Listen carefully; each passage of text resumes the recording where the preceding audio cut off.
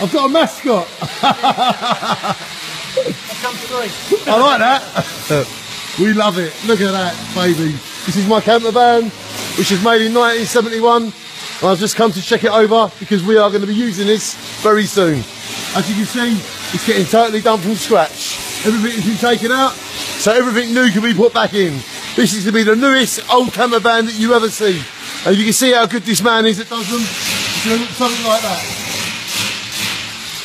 So we've just come to make a uh, Sloggett vision to show you the progress. And as you can see, it's got all brand new running gear. As you can see there, perfection, resurrection. It's all up on this. Getting a new petrol camp tank put in around the back here. Look at that. All brand new running gear. And this is where the decks are going to go. So wherever I turn up, we can do a party. How about that? This baby has been resurrected. Shine on the camper van. And it's going to look something like one of these. All brand new and great.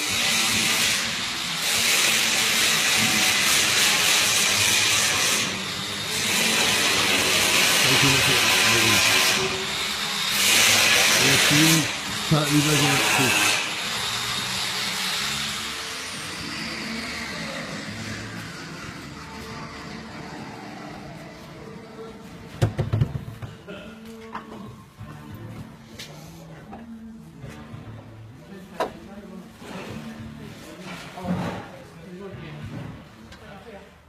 There it is.